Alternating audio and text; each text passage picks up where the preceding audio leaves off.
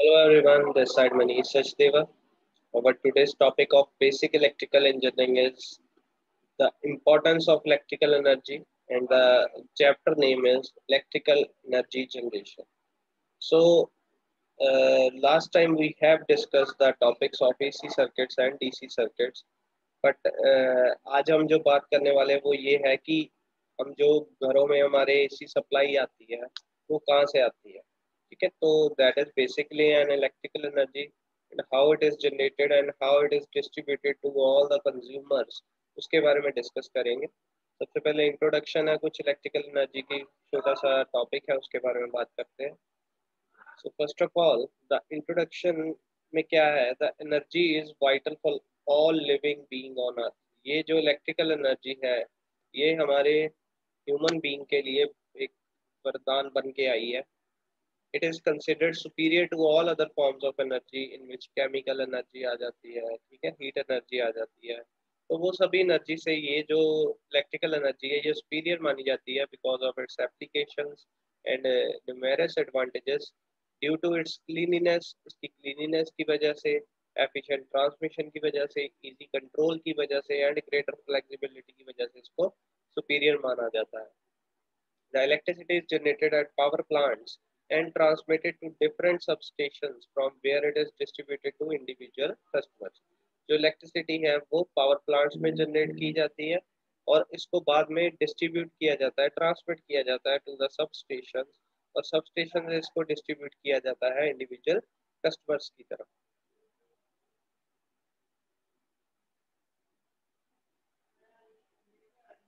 आगे चलते हैं। एडवांटेजेस ऑफ़ इलेक्ट्रिकल एनर्जी ये बहुत ही इंपॉर्टेंट टॉपिक है फाइव मार्क्स का है। अब बहुत सारी एडवांटेजेस हैं इलेक्ट्रिकल एनर्जी की, जिसमें से कुछ एडवांटेजेस मैंने आपके सामने यहाँ पे दिखाना चाहता हूँ आपको। The different forms of energy available from various natural sources are converted in electrical energy अब हमने पढ़ा हुआ है लॉ ऑफ़ थर्मोडाइनमिक की, जो energy can not be created और destroyed it can only be transformed one from one form to another form. एक form से दूसरी फॉर्म में एनर्जी को कन्वर्ट किया जाता है, ना ही इसको बनाया जाता है, ना ही डिस्ट्रॉय किया जा सकता है। तो इलेक्ट्रिकल एनर्जी भी इसी लॉ में टिकी हुई है।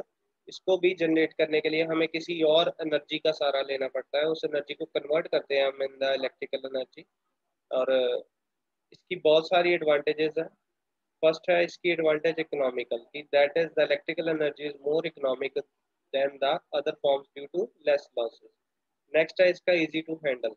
It can be handled very easily over a long distance through conductors of suitable size. अब हम इसको कहीं भी कैरी कर सकते हैं हमने देखा होगा कि इलेक्ट्रिकल जो हमारे वर्ल्ड में हर जगह इलेक्ट्रिसिटी पहुँच चुकी है कोई कोई एरिया ऐसा होगा बहुत ही रेयर एरिया ऐसे होंगे जहाँ तक अभी तक इलेक्ट्रिसिटी को पहुँचाया नहीं गया है और बाकी हर जगह पे इसको इजी टू हैंडल है। जहाँ भी अगर कोई हिली एरिया है या वैली एरिया है, वहाँ भी इसको लेके जा सकते हैं with the help of conductor so it is easy to handle next, it is flexible the electrical system is very flexible as it can be taken to any corner of the house, factory, street using flexible conductor house में factories में जहाँ भी हमें electricity की ज़रूरत पड़ती है, हम कंडक्टर या वायर की हेल्प से वहाँ पे इसको जनरेट कर सकते हैं, वहाँ पे इसको यूज़ कर सकते हैं।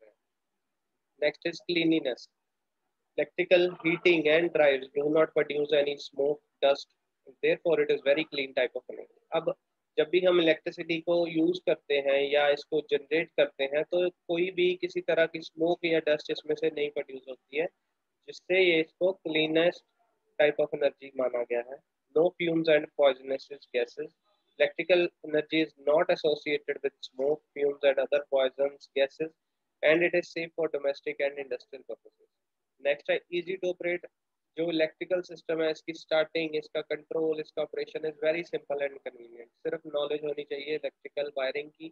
हमें इसको कंट्रोल कर सकते हैं अपने अकॉर्डिंगली हम इसको ऑपरेट करवा सकते हैं अपने accordingly with the help of wiring और स्विचेस या components of electrical system next है प्लेजेंट एंड डेकोरेटिव एप्लीकेशन अब जो इलेक्ट्रिसिटी से हम एप्लीकेशन यूज़ करते हैं, जैसे घर की लाइटनिंग होगी फ़ैन हो गए एसी हो गए, या बहुत सारी ऐसी एप्लीकेशन जो हमें कंफर्टेबल फील करवाती हैं और डेकोरेटेड एनवायरनमेंट प्रोड्यूस करती है। So these are some advantages of electrical energy जो कि इसको बाकी एनर्जी से सुपीरियर बनाते हैं।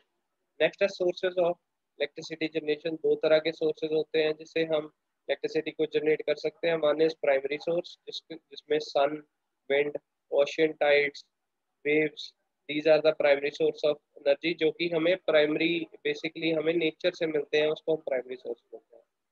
Next is secondary source the sources like coal water atomic fuel these are the secondary source of energy जिसको हम commercial generation of electrical energy में यूज़ करते हैं। This is the topic this is the introduction of electrical energy इसके बाद हम करेंगे various power plants जिससे हम इलेक्ट्रिसिटी को जनरेट करवा सकते हैं उसके बारे में हम नेक्स्ट वीडियो में पढ़ेंगे फ़िलहाल थैंक you.